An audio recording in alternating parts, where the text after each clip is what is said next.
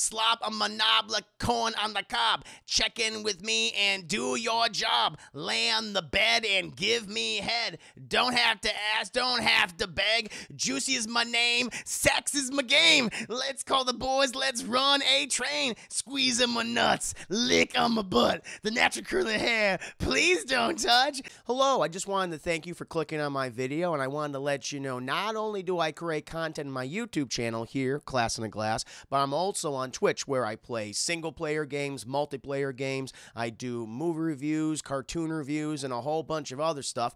Also, it would be a big help if you can check out my Patreon where you can gain access to uh, audio commentaries, reactions, and the ability to submit questions for my podcasts and videocasts. And all that content can be found in the links below. In the meantime, enjoy the video.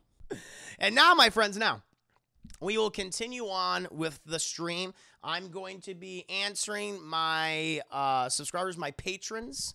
Patreon questions, chat. If you happen to be a Revenite or Juicy Games subscriber, you have the ability to submit questions, which I will then answer on stream on Class and a Glasscast, chat. Not many this week, not many this week, so we'll probably be able to get through these relatively quickly, chat. And uh, I, will take some questions from the uh, chat as well. And if they are Spider-Man No Way Home, no No Way Home related, again, no spoilers, no spoilers. I do ask of that. I do ask that. But let's go ahead and get into some questions, Shan. We got some questions from Vanny. Vanispheres, chat. Thank you, Vanny, for being a Juicy Game subscriber. Good, sir. An absolute pleasure to have you here tonight as well. Chat, please do check out Vanisphere stream, streams. Give him some support. Follow him, subscribe to him, donate to him. Does the cooking streams. He does the, the Final Fantasy 14 uh, MMO shenanigans, chat. All sorts of things. We'll be playing It Takes Two uh, soon. As soon as I finish the Halo Infinite campaign, we'll be moving back to It Takes Two. Can't wait for that. That'll be some good times. But, chat, let's go ahead and get to Vanny's questions. He's got a lot of theme questions. Shane says, for this week's questions, let's finally take a break from Final Fantasy 14 talk about more Final Fantasy 14. He's kidding, Chad. Just kidding. Let's talk about Half Life, Chad. Oh, a series that we don't often talk about very much on my channel. I've not played any of those games on stream. I played the Half Life games, but not those on stream. Movie question. The intro to Half Life is one of the most iconic in all of gaming with our hero, Gordon Freeman, taking a train to work. While it may sound like a really slow or boring way to introduce the world of Half Life, it was absolutely brilliant as things escalate from the mundane to the extraordinary. What is your favorite boring moment in film that is actually brilliant? You know, there's a there's a couple of things. Um, I I, I like in post-apocalyptic movies where they kind of show how people or an individual, maybe a single person, even society, how they're functioning, how their day to day life is. Like when they're not fighting zombies or mutants or monstrous creatures or aliens. I like where they kind of show like this is how they.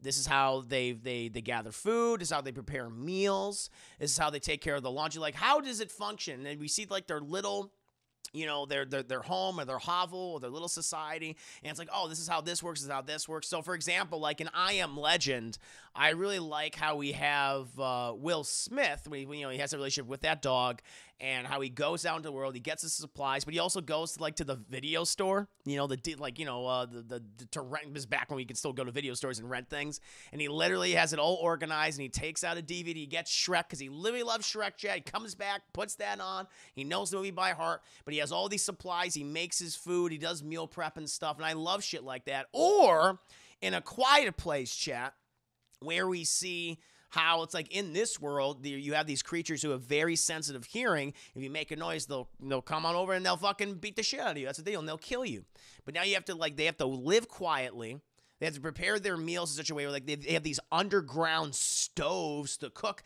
They can't use any cutlery. They can't use utensils or plates because they make too much noise. So they put everything on these giant fucking leaves. I mean them that way.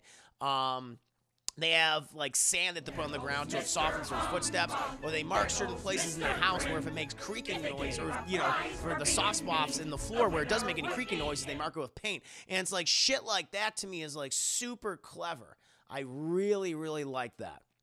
Um, I think that's that's some just great world building. It really lays down just the environment and the setting that they're in, where it's like, but it's like mundane, but also could be dangerous. But this is just this is how it is. So those always really appeal to me, whether like I love the movie or not. Like I think I Am Legend is, is a good movie. I think you know they make some mistakes in it. Like the first half of that movie is really strong, much stronger than the second half.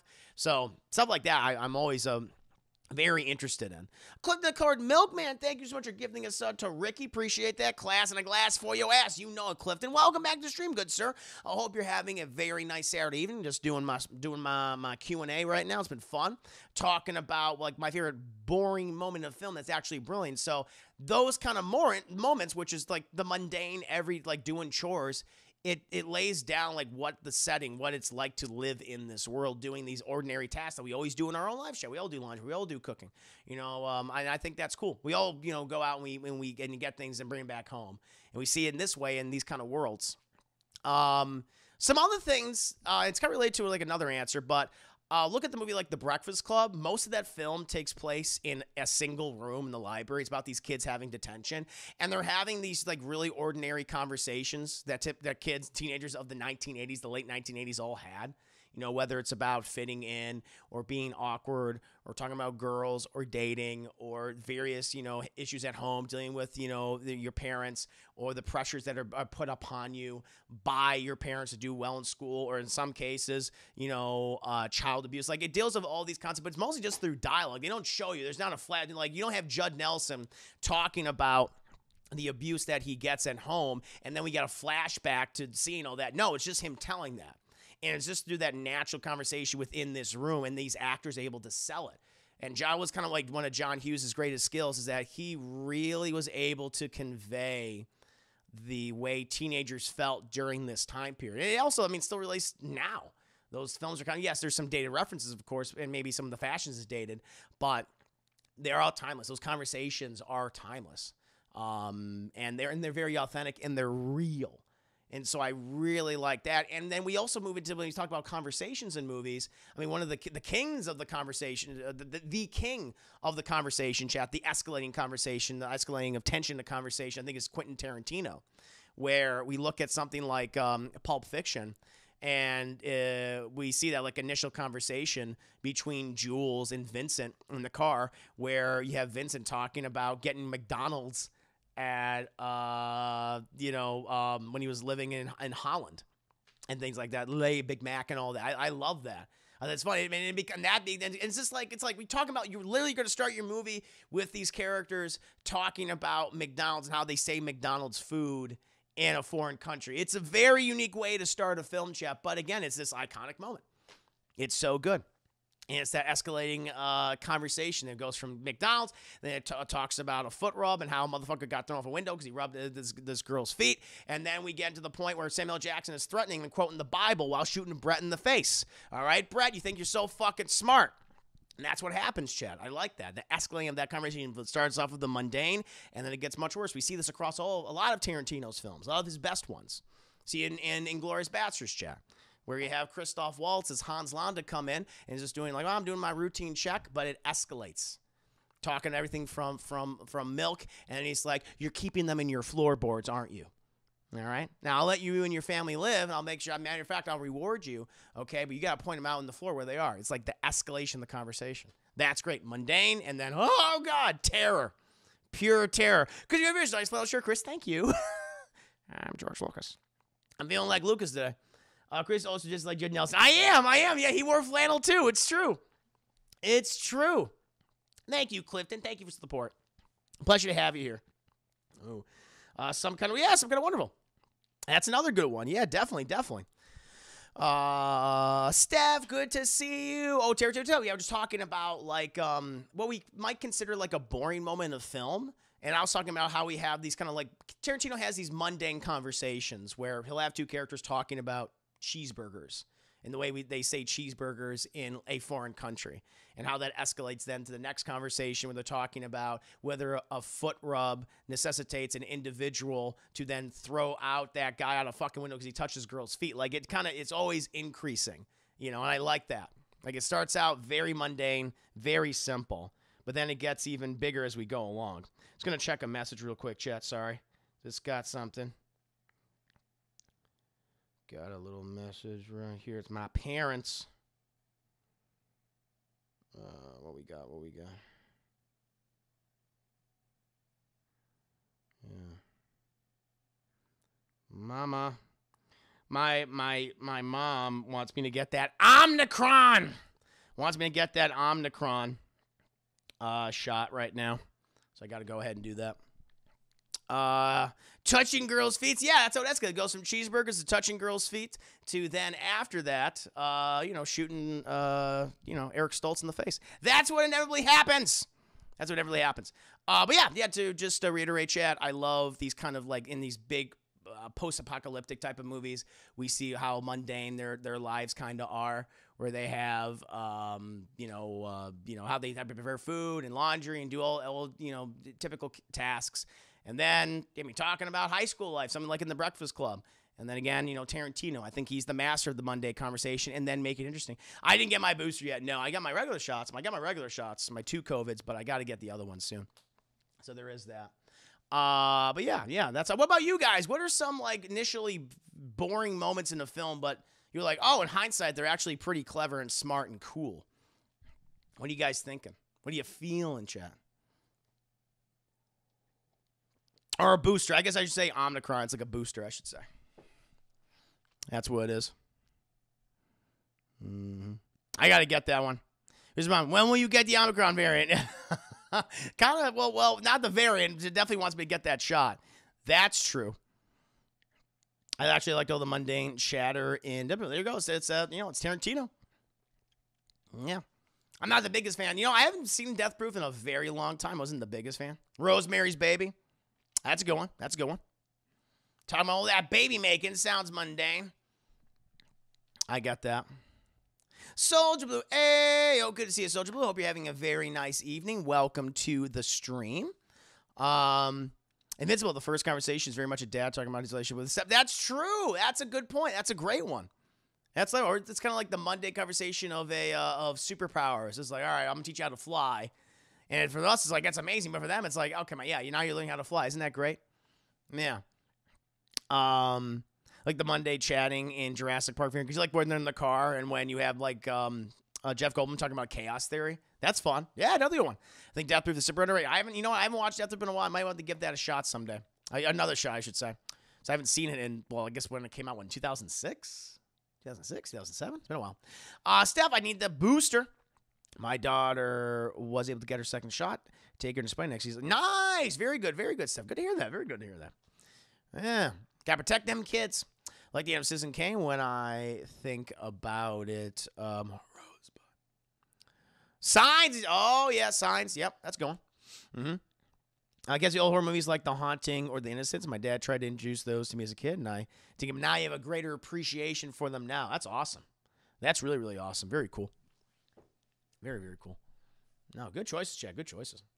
Um, moving on from that question, which I liked it. I, I had to, I really had to think about that one too, Van. You kind of was like, you kind of stumped me for a while. The Conjuring, the whole uh, tracking show in the beginning, following the family around the house, where they're just ah talking about everyday stuff, really sold the family to me, and you also get a sense of the house too, all the rooms and the nooks and crannies and things. That was good, very good. Because remember, the wood chase and uh, Texas uh, Chainsaw was boring when Leatherface Chainsaw roared and the fucking jump scares the hell out of me. Fair enough. Salem's Lot's another good one, Lisa. Yeah, you know they're doing a new Salem's Lot. I saw that. I um, I uh, saw that. Uh, I think that's what's coming out next year, and a cinematic adaptation. So I'm very excited to see that. Hope that's going to be good. I like my vampires shit. I like my vampires. Though we kind of already got a Salem's Lot recently, so I was like, all right, how you gonna make this even better than this kind of new iteration on Salem's Lot? We shall see. Um, but now we can move on to Vanny's TV question. Although he never says a word, Gordon Freeman is one of the greatest heroes in gaming. He isn't a super soldier or some prophesized words, prophesized hero, but rather a scientist who is just trying to do his best. Who is your favorite everyman, quote unquote, in TV and why? This is a cheat uh, because Ash Williams is originally in movies, but he did transition over to TV. Chad and Ash is the Evil Dead, and I love Ash, you know, as an everyman because he's, you know, he's not he's not bright. I mean, he's he's actually an idiot, and he's kind of crass, and he's dated, and he's very ignorant, but he does mean well and he tries his best at the very least. You know, when he's finally pushed, he's like, okay, I, now I got him. He is kind of naturally lazy, but eventually he is pushed to finally like, okay, now you got to act. And there's just something charming about him. Um, the fact that he's not your prototypical action hero by any means. He's very much a schlub. You know, especially when we see him like now he's in his 60s and things in that series. Still thinks he has it. Still thinks he's got, even though he's got to wear a uh, like uh um oh god, what is it? Um oh shit, what's that thing what they they hold around you? You know, to suck in your gut and things like that. What's that called? Uh, not a garter belt. A girdle. Thank you. He has to wear like a girdle now. Uh, he's got like fake fucking teeth and everything. Um, you know, I, I I love I love that old version of Ash who is just too dumb and ignorant to realize that you're an old man. You don't have it anymore, dude. Not that you probably ever did. Oh, it's called a girdle. Okay, okay, okay. But a, no, girdle, girdle. That's what it is, girdle. And he's wearing Spanx. He got the Spanx too. Oh no, girdle. Okay, I was like, girder is it girder belt? No, it's girdle. You got that. So yeah, definitely Ash Williams. But you know some more. So like, okay, but that's kind of a cheat because he's both in films and obviously in a TV show. So I'm thinking like, okay, the other everyman of TV. I you know it used to be Homer Simpson. I think for a while. Certainly in the early days of the Simpsons, yeah. Let's let's talk about like the good the good year, season two, like season nine. I'll even say season ten, but where he wasn't just an idiot because now that's what he is thoroughly. He's he's an idiot, but back in the day, he's like okay, he's not the brightest, but he does actively try to be the best father and husband possible, and he is trying to you know do right by his wife by Marge, but also tried you know tried to help his children even when he knows when he's struggling. And there was a wholesomeness to Homer, and that's changed over the years. I don't think we see that version of Homer anymore. Gentlemen, why hello, John Elfman. I hope you're having a very nice evening. Good to see you. Um, but but but yeah, back in the day, I I felt like that's you know I was like, oh wow, this is this is America's dad. He's like he's not he's not the you know he's not the brightest. He he he does stumble. He does fail at occasion, but you can tell that he really does truly love his family and love his children and wants to do the best best for them. You know, despite his various flaws, he's a flawed person, um, and I like that. You know, it's kind of been the successor, if you will, of um, of Homer in recent years, I think, is Bob Belcher from Bob's Burgers. He's really kind of filled the void that Homer left for the last 20 or so years, you want to say. Uh, or Hank Hill. Hank Hill's nothing, you know, Hank Hill's a good dad. Hank, Hank Hill's one of those other ones, too. That's another good suggestion. A lot of, because I was thinking like live action Everyman, you know? And I, I don't know, but for whatever reason, I just gravitated towards cartoon dads for whatever reason. I'm sure there's other great um, choices, other great picks. Thank you. Thank you, by the way. Was that with the very kind host? Dippin' Doots. Thank you, the host. Welcome to the stream. I hope you're having a very nice evening. Spreading the word of the Revenites and the Huckleberries. Hopefully, get more Revenites and Huckleberries. Appreciate that. Damn it, Bobby. The thing is, like, I always go back, like, um, uh, well, well let me let me just kind of go over like the Bob Belcher. It's, I mean, he's trying to run his business, trying to do right by his, his his kids. Like he does love his children, despite how fucked up they all are, and he really does truly love his wife Linda. I, I love that. Like Bobby, like I love that relationship that have that they have. Um, and he seems very, very earnest. He just seems he's exasperated. He's definitely beaten down by life uh, and tired. But I think that's also what makes him an everyman too. Uh, I think that's uh, kind of like a, a, necessary component to that. That's what makes him feel so regal and authentic. Um, so yeah, I think I think Bob is very much taken over the mantle of what what of what an everyman is, everyman dad, if you will. And thank you uh, to Vanny for the host, spread the word of the Revenites. I appreciate that. Thank you so much. Share me on your channels. But, um, but in regards to, uh, uh, uh, geez, Hank Hill, Hank Hill, he's he's that too. Where again, him and Bobby don't have a lot in common. Where Hank Hill, he's that kind of prototypical, you know, like you know, uh, Texan, if you will. Uh, where Bobby, he has uh, a love for comedy and the arts and theater and films, and he makes references that Hank doesn't understand. But that does, despite all that, they do find something mutual to bond over, and you do know that Hank does love Bobby and tries his best to raise him. And like one of the things, the scene I point out, like what's like I people always ask me, what's a great season finale of a TV show? I have to answer this before, both in class and the glass cast, and also my regular streams and it's the finale. It's the finale of of uh, King of the Hill, where him and Bobby are bonding over something they both love, which is barbecue, which is grilling, and it's a really wholesome moment because then the whole neighborhood comes over and they all eat these steaks and things that they prepared, and and Bobby is really appreciative of Hank, and Hank is really proud of Bobby. It's like this really sweet moment, And uh, yeah, so I think yeah, Hank is is a, is a good everyman, and and he even he even circumvents typical tropes. I think when you think of like, oh well, you know, Hank Hill is going to be this this kind of redneck racist conservative, and he's not in the in the show at all. You know, there are times where it's like, you know, people always say because they're doing a sequel series and say, oh, Hank's going to be like one of those MAGA supporters, like a Trump supporter. I don't think he is. I don't think he will be because they even uh, I think at one point in the show, like he was a big supporter of the of the former Democrat governor of Texas. I'm trying to remember her name, chat. Uh, cardboards ever have a candle fall on the grill? That sounds so evil. Oh no, it's like the worst thing ever. That's the last thing I would want. Cardboard, it's an absolute pleasure to have you, by the way. Good. Thank you again for following. Hope you're enjoying the stream. That sounds horrible. That's the last thing we need. That's an act of evil when the tortilla falls in the grill, and at that point, it's destroyed. It's done. It's over. Ann Richards, that's it. The last time Blue ever graced uh, Texas. That's right. Ann Richards. Like, uh, she, uh, that Hank Hill was a huge supporter of her, and they talk about it on the show, and I like that. And Hank did not like George W. Bush in the show. The reason being because he didn't think he had a very strong handshake. He had a weak handshake. That's why he didn't support him. But I like that. And so it shows that Hank is, he seems simple, but he's actually a multifaceted character. There's a lot more to him. He's complicated. And I think Bob and Hank are two of those really great everyman dads. Whereas Homer used to be, but he's no longer that. He's more he's more like Peter Griffin from Family Guy now, which is which is sad. Who has always been a piece of shit. he's never not been a piece of shit. Never obnoxious young. What do, you, what do you mean obnoxious young? What are you talking about? Man, I could see Hank initially being a Trump supporter like in the very beginning, but then uh, running like hell once he starts to listen to Trump. Yeah, that might be that might be good because they're, they're doing a sequel series, Chad, of King of the Hill, and I and and they're aging up the characters. It's going to take place. So I think King of the Hill what ended in 2011. I want to say. It was like maybe 2010, 2011. It was around that time. And so it's going to be over a 10 year gap. So Bobby's going to be in his 20s at this point. Hank and Peggy are going to, you know, be, I think, what, in their late 50s or maybe early 60s even. And uh, and they're going to deal with a lot of these things that we've been dealing with over the last 10 years. And one of those things you know they're going to uh, touch on is, you know, the recent political climate. And I think it'll be very fun to see like which uh, of the of the characters are Trump supporters, you know. I think of all of them, Dale, I think Dale would be the the the Trump supporter. Like Bill, I don't think so. Maybe maybe Bill, but he be, he might have killed himself by then. I think Bill might have died. like one of my favorite scenes. It's so fucking dark. One of my favorite scenes in the show, though, is when Bill goes up on his roof and is climbing up there. And it's like they all live in ranch houses, so it's it's like a story. It's not even two stories. Hank's like, "What are you doing up there, Bill?" He's like, "Oh, I'm just up here trying to kill myself." He's like, "All right, see you tomorrow, Bill." He just haven't done, he hasn't done it yet. Uh, and Boomhauer, I don't think is. I don't think he would be a, a supporter at all.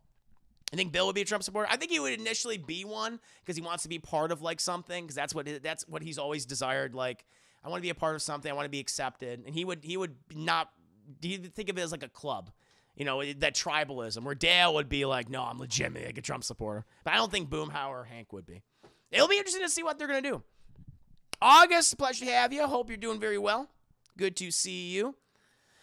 Oh Lord, Cotton Hill definitely. He would have been. He he would have been. That that man died, and he deserved to. He was a piece of shit. Fuck him. Mm-hmm. No doubt. Yeah, those are some of mine, Jeff. Alex Bernal, YouTube editor extraordinary Alex Bernal. Hope you're having a very nice evening, good sir. Good to see you. Whoa! Got some more support coming here. Thank you, Alex Bernal, for the host as well as for the, the Revenites. Thank you, thank you, thank you. My favorite Deadpool. I think Dale would, but once he gets into the QAnon stuff, he would see it for the shaman. you think that's when he would realize? That's funny. Because he's a big conspiracy theory guy. I think I figured that's why he would be into it, but I don't know. It'll be interesting to see. I'm I'm just speculating at this point, chap. Remember when Dale was like, I want Bobby to take the shot to kill him in the bell tower? yeah, that's right. Because Bobby's such a great fucking shot. That's right. Blackstone, greetings and salutations to you, Blackstone. I hope you're having a very nice evening. Welcome, welcome, welcome. I'm good, man. No, I'm just doing Class and Glasscast, answering my very generous patrons' Patreon questions. It's been fun so far. Uh, we're, we're going to be playing some Among Us on mic, which should be fun. But uh, but yeah, answering some questions from Vanny, Vanispheres, and some good ones. But yeah, chat to reiterate in terms of my favorite everyman in in TV, Ash Williams. You know, he's you know Ash, you know slicey dicey, uh, you know, uh, taking out all the deadites chap, but he does it like um, you know, like uh, a schlub, which I love about that. I love that about him. And then Homer and Bob Bel, you know, Homer initially for a long while, but now Bob Belcher and definitely Hank Hill. They're very much the everyman dads. They try their best. They're flawed, but they try their best, and they do love their families despite their respective flaws as well. Edge Berserker is 12:15 a.m. Uh, 12:15 a.m. here, and someone insisted on vacuuming and drilling just now. That's crazy. That's fucking nuts. Oh, they do that. Oh, but there goes Mr. Grimm. If they gave a prize for being mean, the winner would be him. Edgy Berserker, thank you so much for gifting us some Glow in the Fro. That's a good name. Glow in the Fro. Congratulations. Thank you, Edge Berserker. Again, chat, check out Edge Berserker's channel. Give her some support. That's weird to start vacuuming. That's, that's too late. That's way too late. You know, like the latest you could be vacuuming, I'm going to say, is 8 p.m. Like, okay, 8 to 9. All right. After that, nothing, nothing after 9, in my opinion. Nothing after 9, chat. Was that Aunt May? A little bit of Aunt May crept in there, Chai, I will say. I love the Aunt Aunt May voice. Everybody knows you love Mary Jane Everybody. Yes. Nightmare neighbors moved in. They're making noise or just screaming. Oh, really? Ooh, Jesus.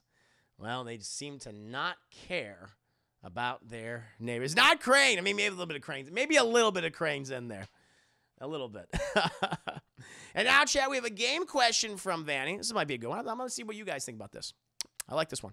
Half Life 2 is considered to be one of the, if not the, greatest shooters of all time. In my opinion, is one of the most important games of all time as it introduced physics-based mechanics to its mature storytelling and tight combat. One of the things that I think made it stand out with regards to gameplay is that it respected the player's intelligence. It didn't hold your hand and expected you to figure things out however you see fit. Valve has even said that they were fine if folks figured out how to break the game because the engine allowed for it. What other games can you think of that respected the gamer's intelligence in a similar way? You know, I, my mind went to kind of several genres of games. One of the first ones was uh, strategy games, so like Civilization. I like that in Civilization chat, where the whole premise of the game is it is a uh, uh, top-down, turn-based um, strategy game where you you select a civilization. You know, it could be anything. Chad, you can have scenarios and things, but you can select a civilization. You can be ancient Greece, can be Rome, can be Egypt, uh, can be Germany. Uh, you know the, the you know Great Britain, the Americas, whatever you want it to be, chat, and you create your civilization over, over over time. You cultivate it. You get to explore different avenues. What kind of civilization do you want? Do you want one that is very militarized? Do you want one that pursues you know uh, cultural um, you know, uh, you know, like these these these huge cultural achievements, if you will? Do you want one that's focused on economy, build like the largest economy in the world? And you can win the game in all these various ways, chat, by either raging like, you know, a, a, a war across continents or economic superiority, or you become a mecca for culture chat overall. And I really like that about Civilization, the series. Like I played a lot of Civilization back, like Civ 3 was a huge Civ 3 and Civ, Civilization 4 for me were like my the, the like the times where I played that game the most. I want to play like the newer ones. I want to play them on stream, but those are just so long. And you can do different scenarios too, where it's like a certain period in history, and like there's elements added on top, like you got to live through the Dark Ages, or now you have to deal with the bubonic plague, or you're the Mongols are invading. How do you stop them? Do you make alliances? Do you do you do you sacrifice territory? And it's like so many different ways in which you can achieve victory. I think that's really fun. And there's also online uh, online uh, play as well of other players. I think it's fun. Divine Miss Klein. Good to see you, Divine Miss Klein. I hope you're having a very nice evening. Just doing class in a glass cast for Assemble Sass, talking about um, games which they in which they respect the player's intelligence. And Civilization, I think, is another one. Other strategy game, I mean, StarCraft, which is all about resource management, which troops to handle which uh, scenarios and situations, what kind of enemy you're, you're, you're fighting, which I think is really cool. So definitely StarCraft. That's a big one. Uh, XCOM, which is another, that's much, like Civilization, is kind of like another turn-based um, uh, strategy game where not only do you have to like you're, it's you're in the midst of an alien invasion, you have this uh, uh, advanced organization on Earth, you have all these resources. How are you going to use these resources? You're going to create these kinds of troops. uh, to to fight these aliens, but you know you got to use the environment to your advantage. Sometimes you're gonna have to sacrifice your troops, and that could be a huge detriment. Like, what are you gonna research to improve your troops? You're gonna go more science or, or uh, telekinetic abilities. Like, it's all sorts of things with that. And, like, I think that's really cool. And that, that game next comes here is really hard. I want to play those someday for you guys. I want to name some of my um my soldiers after you. I think that'll be fun be real fun. So definitely, yeah, uh, XCOM is up there along with StarCraft.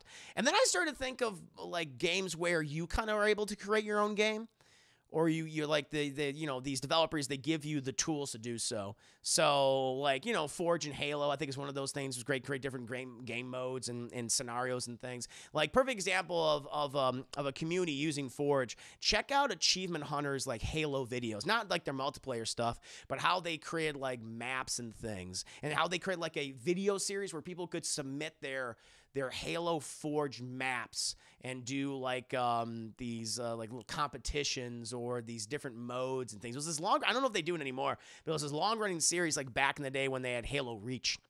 We introduced Forge, and I thought that was really, really cool. On Minecraft, I think is one of the most famous ones. Chat where it's like, okay, here's your open world. It's like you have the they give you some tasks and what you can do and and things, but people have been able to again, look, look at what Achievement Hunter did in, in, in, in, Minecraft and how they create, you can create games within games within games within that world. And I think that's so much fun. Uh, and then we get to the more puzzle based games. So, like Portal for me, I love Portal 1, I love Portal 2.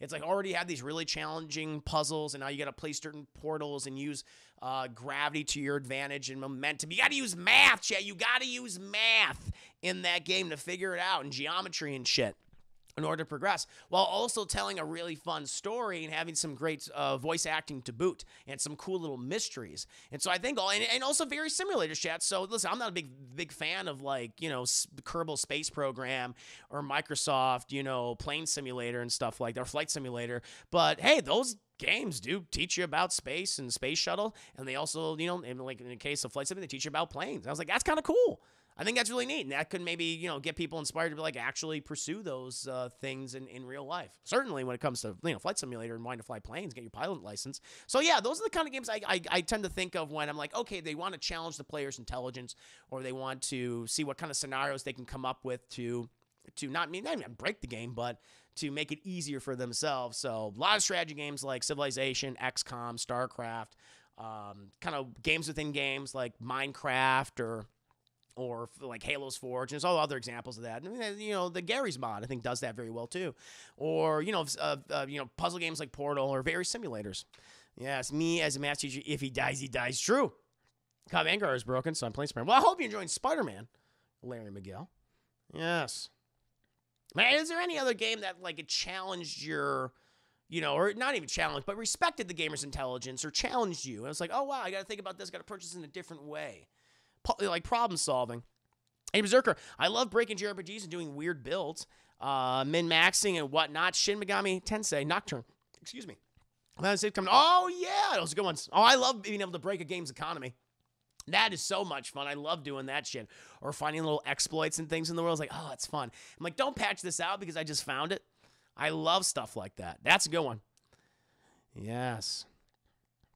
Yeah, yeah. That's some. I, I, yeah. Because now at that point, it's like, no, don't, don't, don't fix like you know. Get RPGs is very easy to break an RPG's uh, economy, especially if you find like little loopholes and things. Or you find like a guy like I sell this to this guy, I get like you know ten times as much. I love finding that.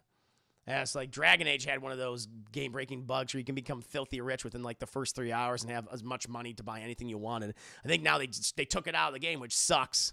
But I love to be able to break a game's economy. That's fun. That shit, I love that shit. Persona 5, flu season, fight, death, instant level ups. Oh, really? Oh, that's cool. Very nice. Sonic Russian DS for me, that game was uh, tough, so I had to concentrate hard. Yeah, yeah. There's a lot of games like that, which I think respect our intelligence, challenge it, and we approach problems in ways we ordinarily don't don't think to do so. It's pretty fun. And now we'll move on to Vanny's content creator question. This is going. This is actually related to some of the stuff I was talking about. Uh, while Gordon Freeman is a silent protagonist, the world of Half Life is told through its environment and side characters. That isn't the case for you as your content is based almost entirely on your voice. True. And personality. True. Your green screen Twitch background works as it keeps the focus on you. Is this an, an intentional decision or was it more of a matter of convenience? Everything about changing it. Uh, to answer the first part of your question, I so I wanted a green screen because where I previously lived, chat, like I didn't have a nice background because of how my apartment was structured and what was in it. Like my closet had these these uh, doors, which you know, like sliding doors, and they were mirrors. And it's like if I had it that way, you would be able to see your yourselves, and just wouldn't have looked good at all. You would have seen my reflection, the back of my reflection. That wouldn't nice. So I needed a green screen for that. And um, I, I I like the I like that I have the green screen. You know, I mean, I could literally put anything behind it. I mean, not that it doesn't come with its issues and things, but I've enjoyed it uh, for the for the time being. Like, I eventually want to have. I'm I'm thinking about this more and more because I, I kind of like how clean my aesthetic is for my streams. I don't like a lot a whole bunch of moving parts and things. Like I have, you know, my, my like thanking like my weekly and monthly top people, my total subscriptions, my total followers right there. I have the chat. I have some uh some polls or some excuse me some some goals, some poll goals right there. Uh, and so I don't want like too much stuff. Like eventually, I think it would be kind of fun to have like a screen where I can have like a nice background, like have some fun stuff that you guys can see.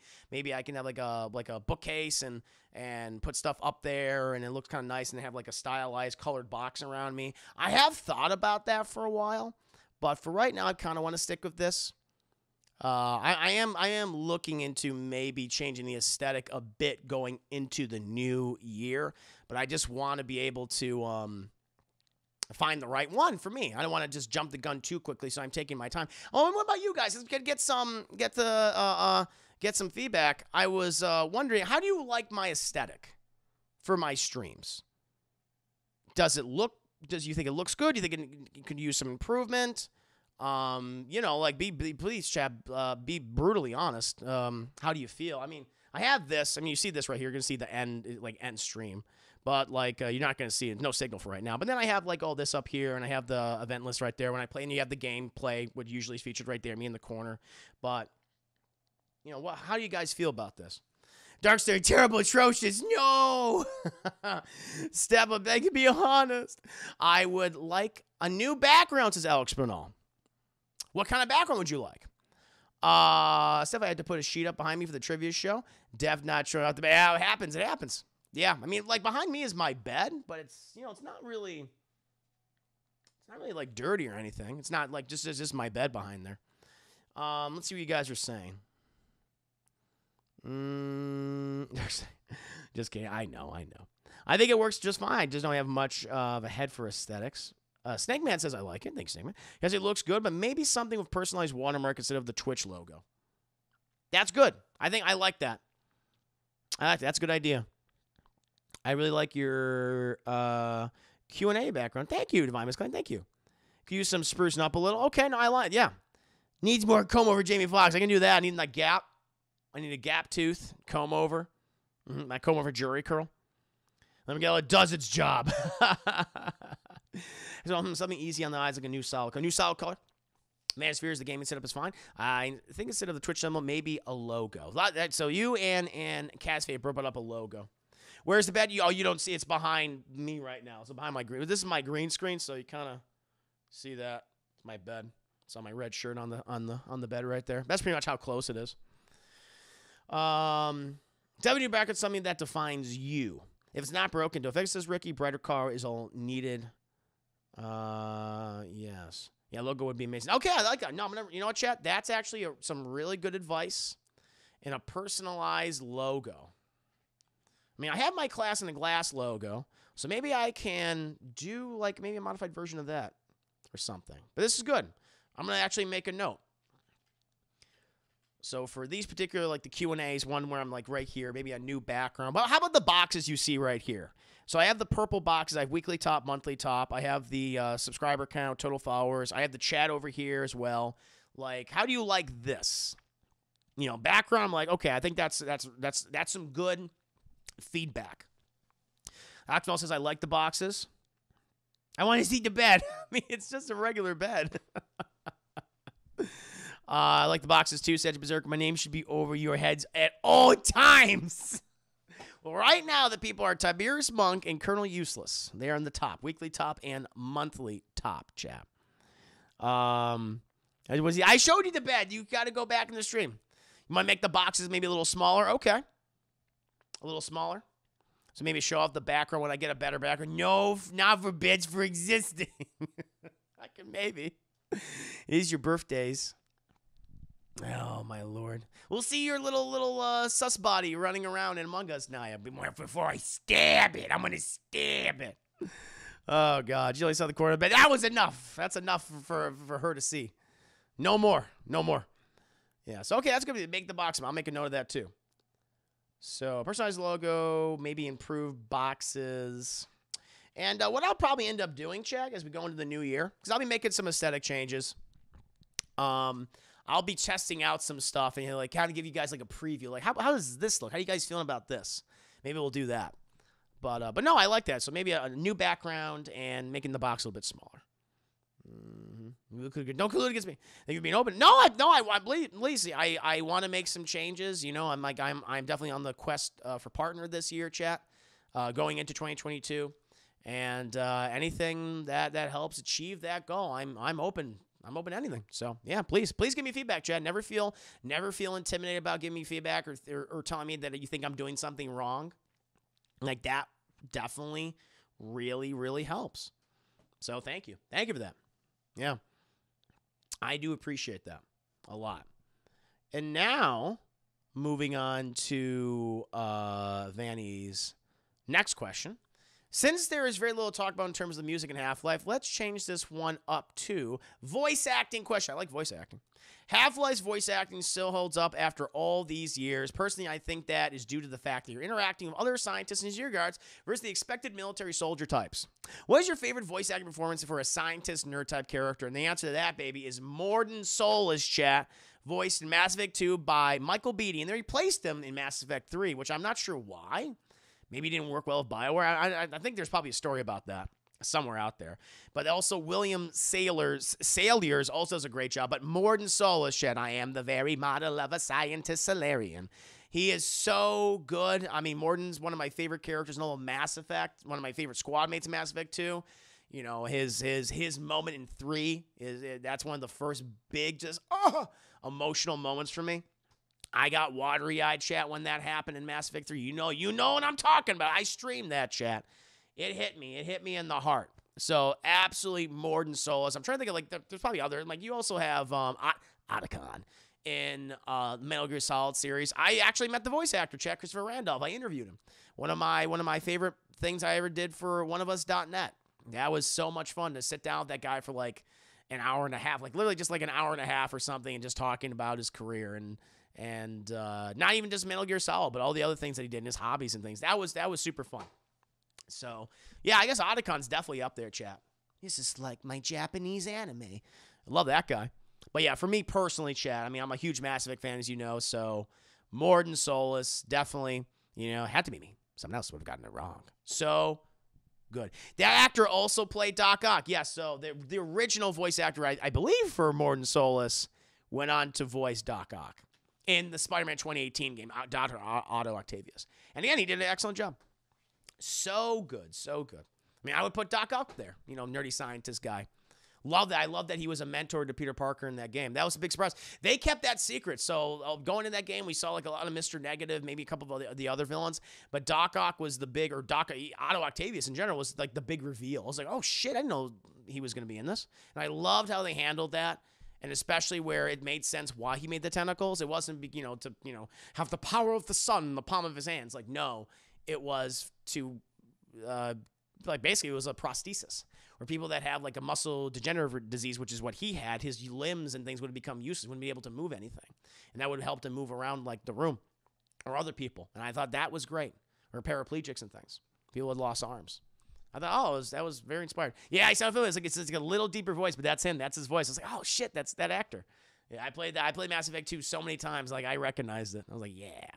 Yeah, what just about? I don't know him, Xavier. I've always thought, I've always wondered about that. Um, I'm sure there is an explanation. I hope it's not like a bad one. Maybe it was just because there was a timing issue or projects. I'm not sure. You got something different? I thought I read about something, but I don't want to say like it was like it was because she was difficult to work with. I don't remember. Don't know. But yeah, yeah, uh, he did. He did a great job. So yeah, Mordin Solus, Chad, absolutely. M- both Michael Beattie and also William Salyers, who voiced him in Mass Effect Three. That is to me the quintessential nerdy scientist. He wasn't even. I mean, nerd, I guess, but he was also a badass. He was a saboteur, expert in subterfuge. He was also had great power set. He had cryo and uh, what was it? Um, incinerate powers. Ah, so useful on the battlefield. Freeze somebody and blow them up, or set them on fire and then blow them up, chat, or set them on fire and then freeze them and then melt them. So good. Love fucking Mordin, chat. I am the very model of a scientist Salarian. Don't know the rest of the lyrics. I forgot. But I think Vanny uh, posted some bonus questions. Shit, we got some bonus questions, Vanny. Now, I, di- I did not have time to give thick, robust, girthy answers to them. So I'm just I'm just going off the cuff. I'm going off the cuff, chat. So let's see what we got here. And then I'll take some Q&A from you guys. Video game question. Shooters often give you some melee weapons. Bioshock gave us the wrench. Wolfenstein gave us a knife. And Half Life gave us the infamous crowbar. What's your favorite melee weapon in a shooter? Ooh, well, you said so many good ones already. Oh, man, you're going to have to help me out here, Chad. Now I got to think about it. Oh, you know what? The energy sword in Halo, most recently, really love that energy sword. That thing is fucking great. And that's when that's been that's been the franchise for over 20 years, chap. And I think like eventually when Halo 2 they introduced the grav hammer. I've been playing around with both of those, you know, playing Halo Infinite. That's been really fun. Crispy, thank you for the lurk. Appreciate that. Hey, drinks tonight? Ah, just some spiced up uh, coffee I got right here. It's been pretty good. So I would definitely say Energy Sword and Grav Hammer from from Halo. Uh, but yeah, no, I mean, yeah, Crowbar is iconic in Half Life, and the wrench and Bioshock, an iconic weapon. And I love the knife in Wolfenstein. I love that you can either throw them or stab them, all the different executions. I think is really cool. But I'm trying to think of like any other melee weapons, Chad. You got any answers? Uh, Oh, Chainsaw from Doom 2016. Great pick, Mysterious Ronin. Really good pick. Love that. Chainsaw and Vanny just, yeah, you said Chainsaw and Doom right there. Following you up. Nice. Nice. Um, any other like melee weapons and shooters, Chad? Because I know we think of shooters, we typically well, let's think of the, you know the, the guns, of course. But I'm trying to think of anything else. In Maconi 47, Silent Assassin contracts. You could get a katana that could instant Ooh, that's I love that. Duke Nukem's uh, power kick. I remember um, last one I played was uh, Duke Nukem Forever. I guess it was the power kick and that was the punch. Shadow Warrior 2 has some fun. So I have seen some stuff for Shadow Warrior 2. That looks really, really cool. I have to. I've never played any of those games, but I want to someday. Nice. I didn't play shooters, but I love using the pipe in Silent Hill, says Edgy Berserker. Very cool. I'm trying to think of like in horror games, like a melee weapon. Um, I mean, you have the knife in Resident Evil, but that's not. Uh, oh, you know what? They have the this the, the in Resident Evil Village. They have this new knife, which is Chris's knife, which looks like a brass knuckles, but it's like in the shape of a knife. That thing's pretty badass. Oh yeah, the Black Back 4 Blood melee. That's true. In Back 4 Blood and also in Left 4 Dead uh 2, the cricket, but you got the cricket bat in Left 4 Dead 2 chat. And you got the chainsaw, of course, the frying pan, the axe, the katana.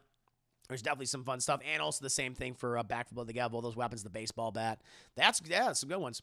Jimmy could just punch him. So yeah, you can just punch him to death and rip him apart. The fists, the fists. We get that counts. Doom Slayer's uh, Doom guy's fists. That's a good one. I like that in the PS4 game. It wasn't that the inhibitor chip failed like the movie said. It was the neural implants affecting his. That's right. It was just he was causing brain damage. True in regards to uh, Ock. Ah, the shaving the Far Cry says, yeah, yeah, Far Cry has some uh, the, the melee kills. I love how you do that. Yeah, so there's definitely some good ones. But yeah, I guess most recently, Chad, the energy sword and the gravity hammer, because I, I, guess they feel very different from each other. And I like that about them. Yeah, where one is you know very can be very fast, very quick, kind of like an insta kill, or you know at least at least two hits. And the gravity hammer that sends you fucking flying, and also has uh, AOE damage around you too, which I think is really neat. That's right. Village also has the lightsaber. Yeah. Oh yeah, the Rising Dual Champ. Well, I guess that I guess that's kind of a shooter. It's more of a, you know, you can. Uh, I'm not, that game is more focused on melee weapons though than guns. I mean, there are guns in it. I feel like that maybe maybe that game is more melee, but you know, we'll count it. Why not? I've never unlocked the lightsaber because I think you got to get like S rank on all of the um, the mercenary missions. I was like, fuck that. I ain't doing that. I love Resident Evil Village, but I've never been a big mercenaries fan, which is basically horde mode, if you will. Um, but a lot of people loved it from like four and stuff. So to each their own. I've not played Days Gone. I gotta play that someday. I heard it got better. I just I did no interest in it. I was like, I don't know. The more I saw, it, the more I was like, more the least interest, uh, I, at least interested I became. So I'll, I'll definitely check it out um, one day. I think it's you know it's on sale, and I'm not gonna make it into a franchise now. That's done. They canceled that. But some good suggestions there, Chad. Very good suggestions. Yeah. You could also buy the oh the oh, oh can I can I buy that? Oh wait wait wait is it with in-game currency or do I have to use like actual money? I'm not gonna do that. Classic 1980s Blood. You could stab enemies with a rake. I never played that game. Wow. Jesus. There you go, Chad. Oh, the chainsaw. Uh, yeah, I guess I guess we can count the chainsaw bayonet in Gears of War. I mean, it's part of a gun, but yeah, I love that fucking thing. I love the Lancer. So goddamn good. Mm. And now, Chad, I think we got Vanny's last question, video game question. Fans of Half Life have been asking for years now one simple question When are we getting Half Life 3? The game ended on a cliffhanger, yep, and it's highly likely that we'll never get a conclusion to the story. We got Half Life out, but it serves as a prequel to Half Life 2. When folks asked if Valve if there was any plans, the answer has been something along the lines that we haven't even thought about it. Many have guessed that the reason they never made another installment and the stakes expectations are so high that nothing will meet expectations. Yeah, probably. Which, yeah, it's fair. Do you think Half Life being an incomplete series adds to its overall legacy or a disappointment for fans? Uh, you know, I, I think it's well.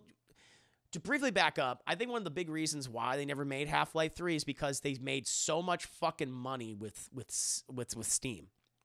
That was the big thing. Because people forget, didn't like Half Life Two launch with Steam? And back in the day, chat, Steam was such a fucking joke. People forget, like, oh, like now everyone loves Steam. Everyone has it. and They have so many buy. So there's so much money through that service. Uh, uh, and and Valve is is is one of those just huge fucking publishers. Like they didn't need to make another game because of Steam. Um, but I remember when Half Life Two launched with Steam, and it was a clusterfuck. It had so many issues, but over time it got better, and now it's beloved. And I think that was one of the reasons why they're like, we're making so much money. Like, why bother? At, like at all. And so yeah, you had a couple of games they they they they, they published or developed.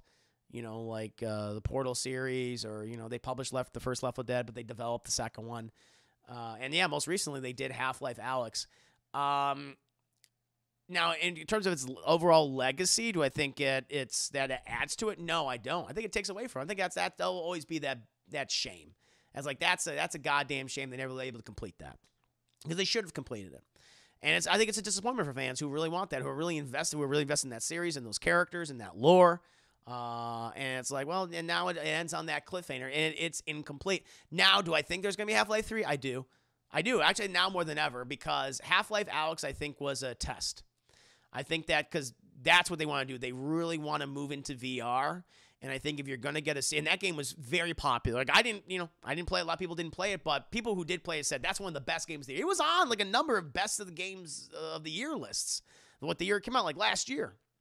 Um, so I think now more than ever that that was a test case. They're like, okay, here's your prequel. Now we're gonna do Half Life Three, but now it's gonna be only for VR, and you have to play it on our device. That's what I believe it's gonna. It was it was yeah, Train Train Game of the Year.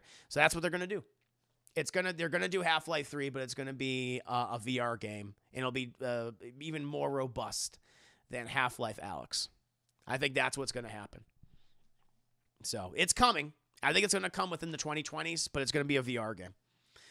And that's what VR needs to do. That's the only way that uh, VR is going to proliferate and evolve is you need to make games like Half-Life Alyx, which is a really robust, interesting, fun experience, which has a lot of variety. That's what that's what they need to do. You know, I can live with that. There you go. I remember when PC gamers had their own version of a console or of Steam versus Epic. Oh, is that really? Is that what they're doing? My God, that's crazy. That's that's uh, that's nuts. So uh, yeah, so I think yes, we are gonna. You know, is it disappointing that they never did it? Of course it is. I think that def- that definitely is kind of fuck. You know, selling the legacy of Half Life. But now that Half Life Alyx was a critical and commercial success for them, they're going to do three now. But it's going to be a VR game and it's going to pick up where the last game left off. I think that's what I, if I had to place money today, I was like putting money down. I was like, is Half Life 3 happening? Yes, but it's going to be a VR game. That's the caveat. That is the caveat. You know, have to, you have to play it on their system.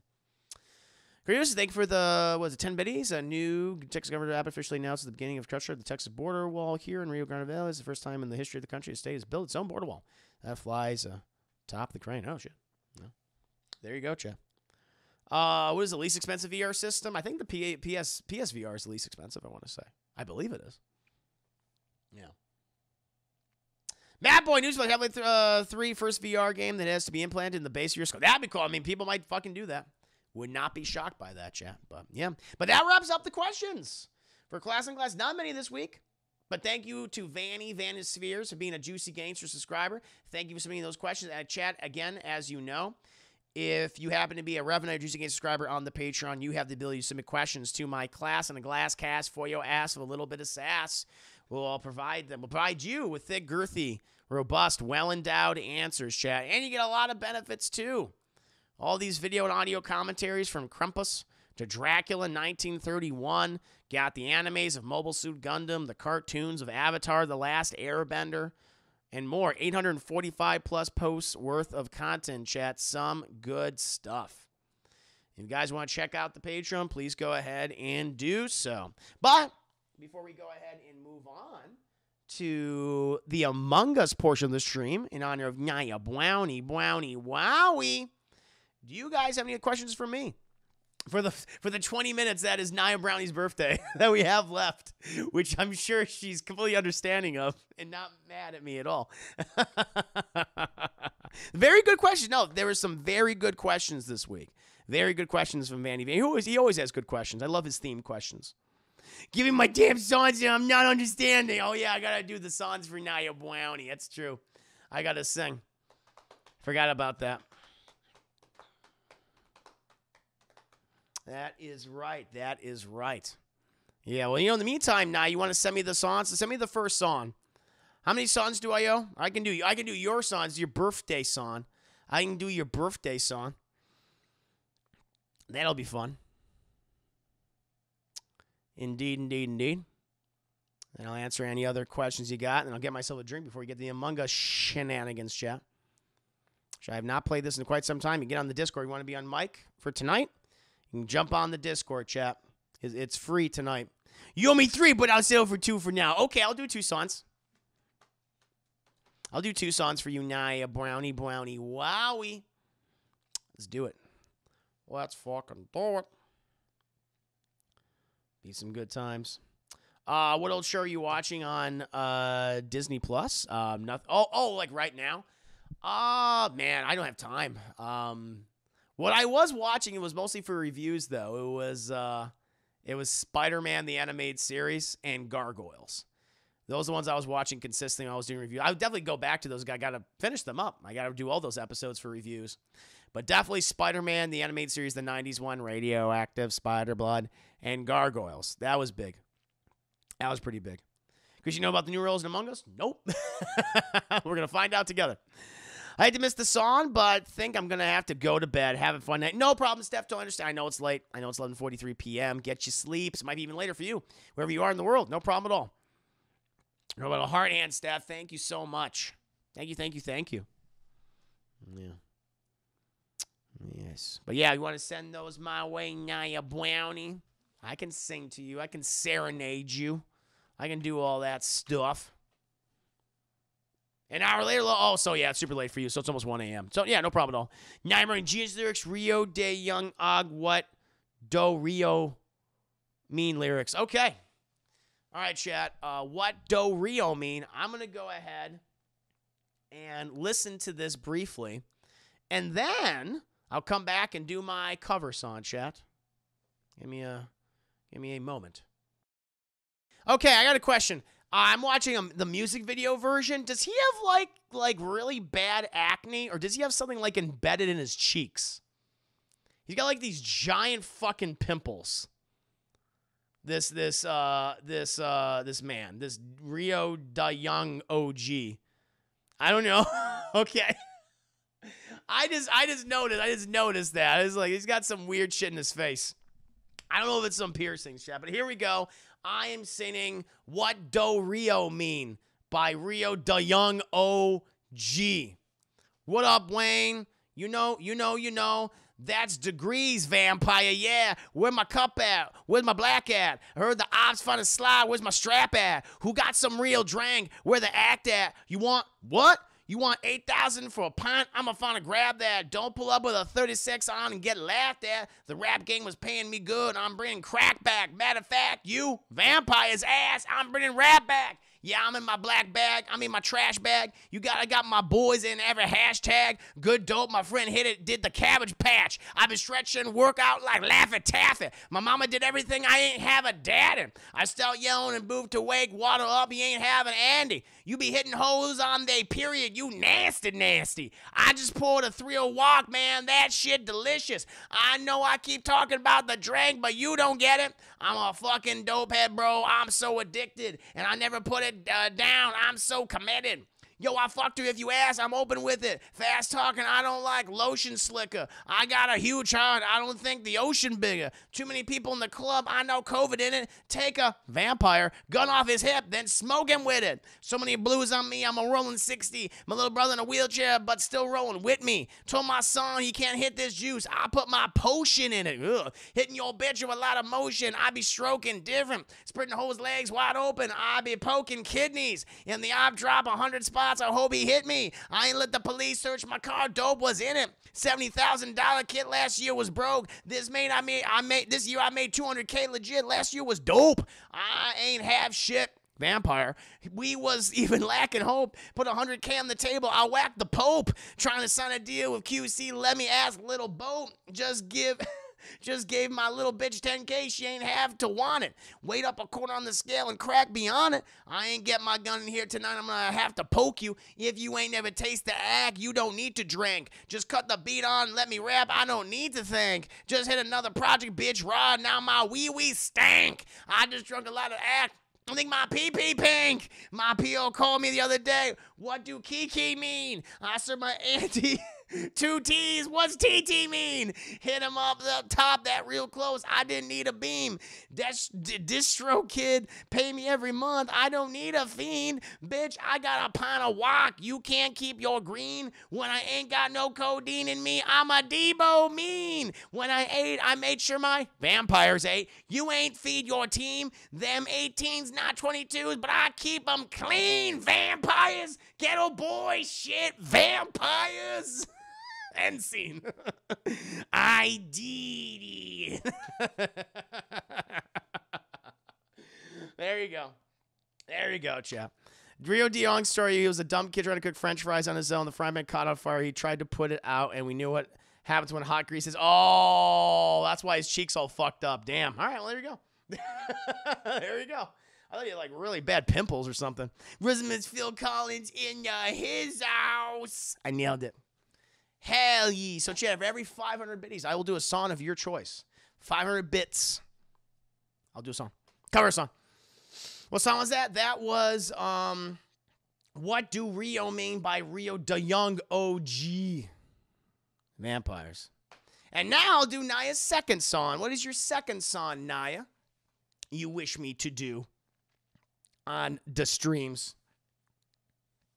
I hope you enjoyed the song, though, chat. I hope you liked it. I hope you found it very entertaining. Well, I must have spilled my drink. I got scared. I was on the computer. Oh, lordy. Mm-mm-mm-mm-mm. Oh, here's the next one. Tear the club up, thug slob on my knob. Chris, I'm listening to this briefly together. Also, Chris does the same rap he always does. You don't know that. It, you might sound completely like that. Good to see you, my sweet baby broccoli eating boy. Good to see you, Joshua. Happy to have you here. Dances while making intense eye contact. yes, as does. Mm. Slater, good to see you. I'm doing, I'm doing the hippity hops. I'm doing the rappings, if you will. So let me go ahead and listen to this song briefly, chat, and then I'll and then I'll come back and do my versions. All right.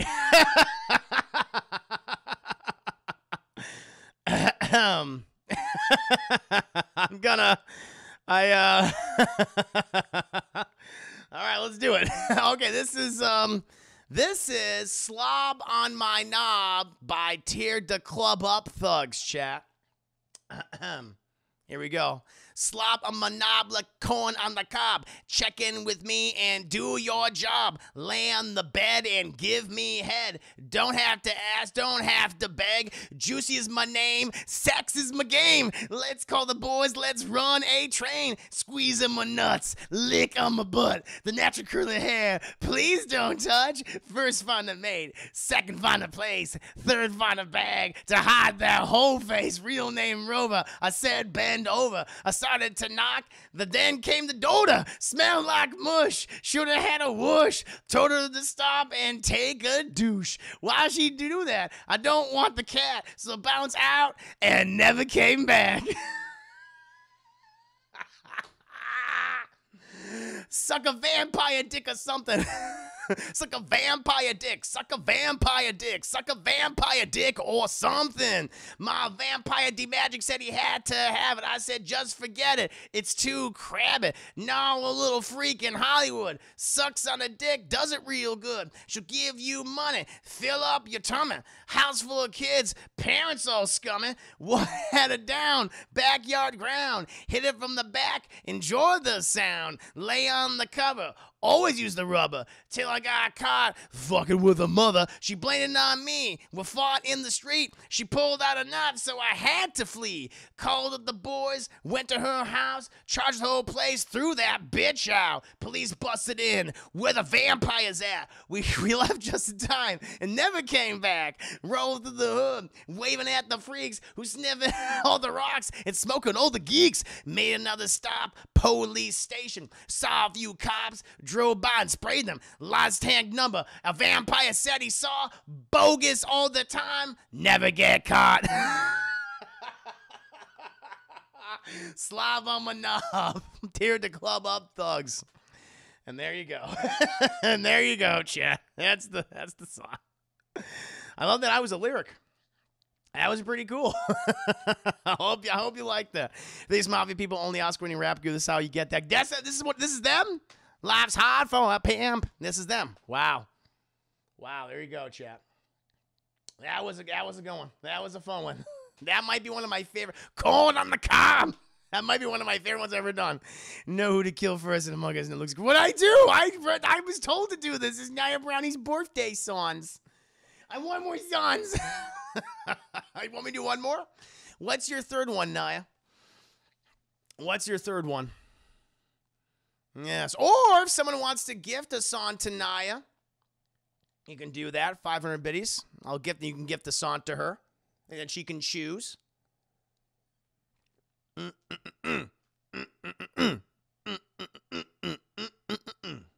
Hell yeah. Have a good evening. Sure, you have now. Sure, you have a fantastic evening. Thank you for stopping by the stream.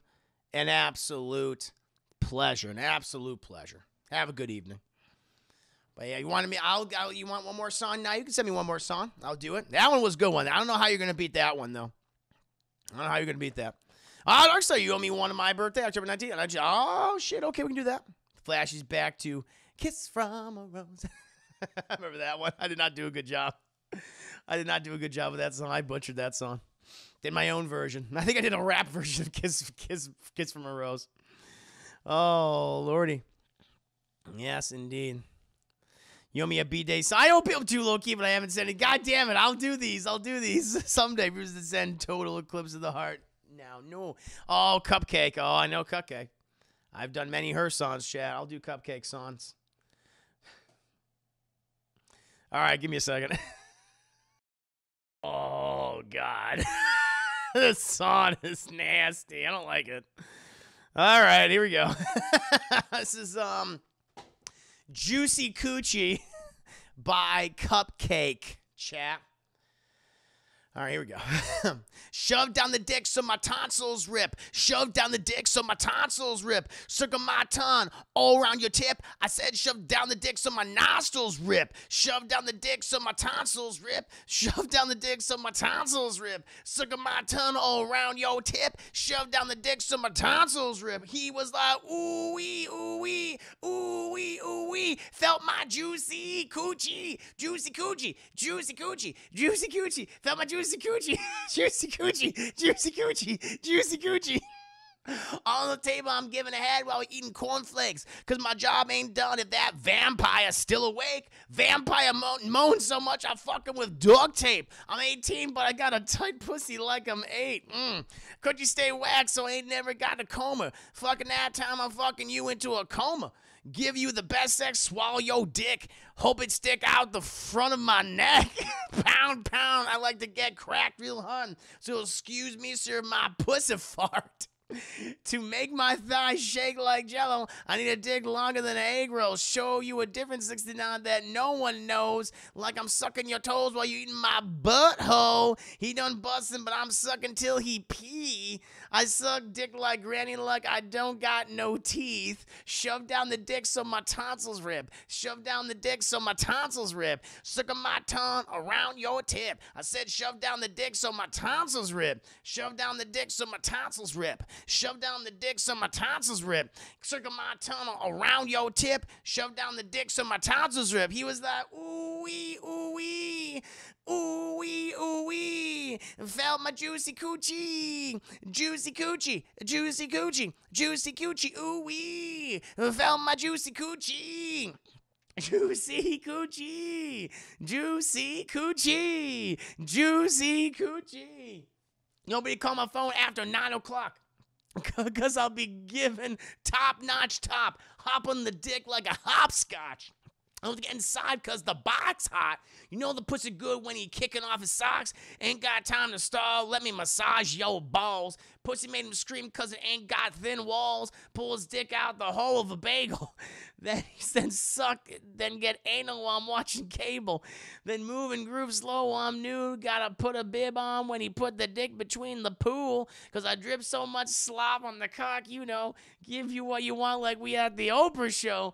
Vampires chase the taste, but I don't ever run. Make that cock disappear. That's kidnap. Your dick is my bullets. Let me get you strum. Wrap my lips around that thing like a hot dog bun. I'm a hoochie with the coochie. Hoochie with the coochie. Hoochie with the coochie. Hoochie with the coochie. Dick fatter than Peter Griffin and the head bigger than Stewie.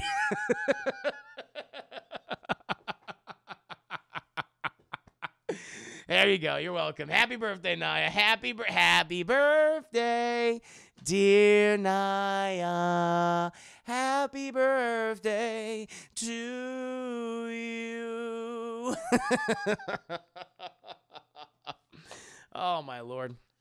Oh Lord, does Corey or Martin ever watch these streams and think we like? I think maybe they've seen me do a couple of songs before. That was that was something. That did Juicy Gucci. Oh, well, Chad, hope you enjoyed that. hope you enjoyed that. Like I said, 500 biddies, or if it's your birthday, I will do a song for you, Chad. That's how it works. That's how that sound. That's that song's. It's tiring. It, it took a lot out of me. Oh Lord, she's dying. They were uh, atoning for this. For his, this is our punishment. Yeah, there is no God. Don't say Chris never done anything for us. I've done so much. I've done so much, especially your tonsils. Oh God. Rip your tonsils out. Please, no more songs. That's fair. Well, you know what we can do now, chat? We can play some Among Us. That's what we can do right now. We can get into some Among Us. So, those you want to jump in the Discord, go ahead and do so, chat. You can go into the uh, the the Among Us um, um, chat. Go ahead and jump in the Among Us chat, chat right away. Let me make a drink first. Okay, I'm gonna make a drink too now. That's fine. So, is Among Us crossplay? I think it might be. I think you can play it on phone. I think I'll give. I'll have the code. I'll have the code ready for you. So let me go ahead and get Among Us up right now, chat. I'll get that set up, and you guys can hop in the Discord, and I'll join you in just a second.